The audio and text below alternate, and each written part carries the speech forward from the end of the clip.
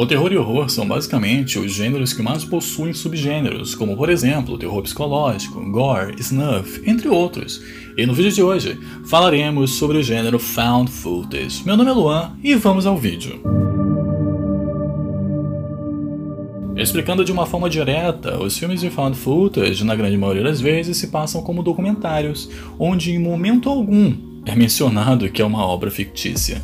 Dentro do subgênero, existem dois tipos de filmes muito comuns. O primeiro é o filme que retrata um documentário sobre algo ou alguém, e o segundo é o filme que retrata a tentativa de produzir um documentário que de certo deu errado, dando nome ao gênero, já que normalmente, misteriosamente, as filmagens foram encontradas por alguém.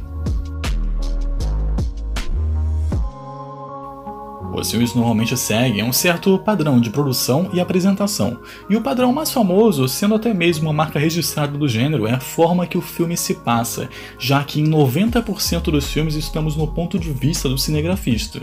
E sem contar a qualidade das gravações, que são totalmente amadoras, intencionalmente, é claro.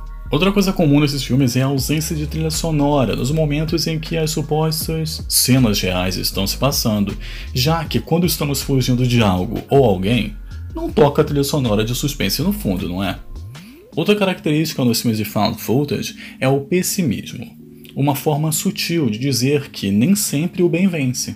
E juntando tudo isso, podemos entender que o objetivo do found footage é causar impacto mesmo sabendo que é de fato uma obra fictícia, o formato e a imersão que o filme proporciona o faz parecer muito real. E essa é a intenção do found footage, parecer o mais real possível, dispensando trilhas sonoras, câmeras em 4K, sem o protagonismo de filmes de Hollywood e sem o otimismo de filmes da sessão da tarde.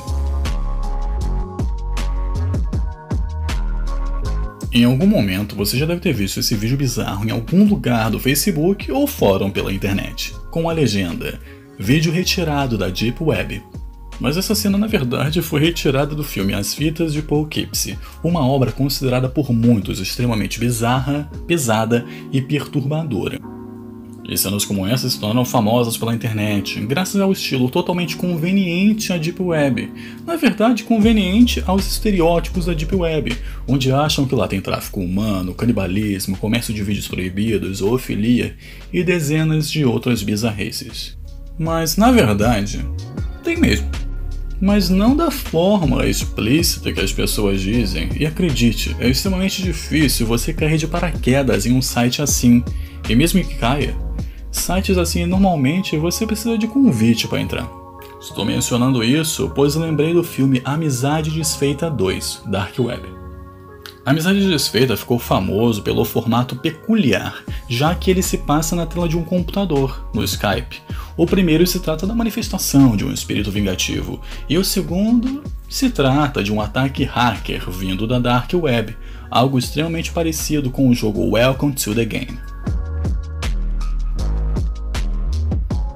E como último tópico do vídeo, eu gostaria de indicar seis filmes para vocês. O primeiro filme é Noroi.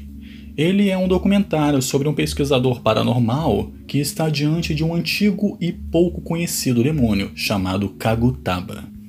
O segundo filme é The Medium, um documentário de uma equipe de TV que, depois de entrevistar diversos xamãs, chegou a vez de Nin, uma xamã que nota perturbações em sua família.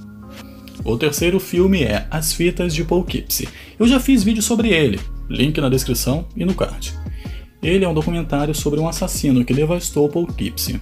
O documentário só é capaz de ser produzido graças ao grande achado da polícia, uma grande coleção de aproximadamente 800 fitas de vídeo gravadas pelo próprio assassino, apelidado de O Carniceiro de Water Street. O quarto filme é Megan is Missing. Também já fiz vídeo sobre ele, tá? Link na descrição e no card. Megan is Missing conta sobre o caso do desaparecimento de Megan, que desapareceu após se encontrar com um rapaz que conheceu pela internet. O filme tem um grande alerta por trás dele. Recomendo que os pais assistam, hein? O quinto filme é O Segredo do Lago Mungo. Ele é o documentário sobre a misteriosa morte de Alice e as manifestações que sua família presencia após o enterro. E o sexto e último filme. Fenômenos Paranormais. Uma equipe vai a um hospital psiquiátrico na tentativa de fazer um documentário sobre o lugar cujos rumores dizem que é assombrado.